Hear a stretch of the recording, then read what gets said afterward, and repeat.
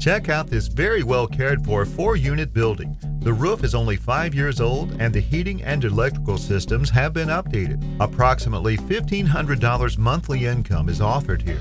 Learn more by calling Vincent Tortora